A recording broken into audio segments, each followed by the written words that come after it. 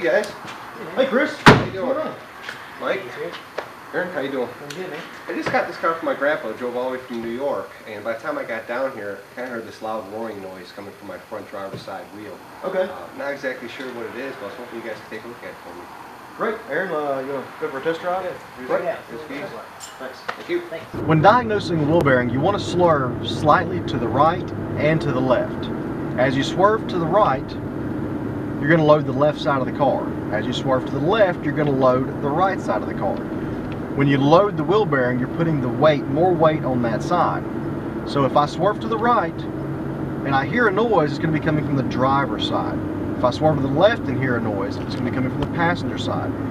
This is how you diagnose a wheel bearing. On this car, we hear it get worse as we swerve to the right, so we know it's the driver's front wheel bearing that's making the noise. To confirm our diagnosis of a left front wheel bearing, we want to check it for any kind of play. Typically, we shouldn't have any kind of play in a wheel bearing.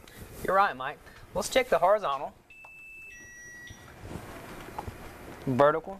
Looks like some play there, Aaron. Uh, yep, looks like we have a little bit of play in the vertical axis. We should not be there. Well, that definitely confirms our diagnosis of a bad left front wheel bearing. You're right. So let's take the wheel off and do a visual inspection as well. Since the wheel bearing is a sealed assembly, visually we can't tell if it's bad or not. Exactly right. But after the visual inspection, we did notice that the CV boot was busted on the outboard boot. What this will do, this will allow water and contamination to get inside the joint and damage it, causing it to go bad or fail. If we can get the approval on the wheel bearing, we can go and replace the axle while we're there and save the customer quite a bit of money on labor. We're going to be there anyway. Great. Let's go find Chris, tell him what we found, and see what he wants to do. Hey guys, what you find out for me? Hey Chris, we did confirm the noise you heard was coming from the left front wheel bearing, but also during the visual inspection we found your left axle boot to be busted. Oh, really? Wow. It's going to be a lot cheaper, Chris, if you go and let us replace the axle while we replace the bearing. Uh, we can definitely save you some money on labor replacing both items at one time. That makes sense. Makes sense. Uh, well, guys, I, I really appreciate it. And I mean, that sounds great to me. Let's go ahead and get that fixed. Right. So we'll take care of it. To recap on the diagnostics, when you turn to the right, you load the left side. When you turn to the left, you load the right side. The side with the load that makes the noise is going to be your bad side. Now don't let this confuse you with a tire noise. A tire noise will typically not change from side to side as a wheel bearing will. So Aaron, is this something, uh, this part here, can we get this, should we go to the dealer for this or is this something that we can get from aftermarket supplier? Well, usually the dealer is the best place for any OE part like this, but they are available aftermarket.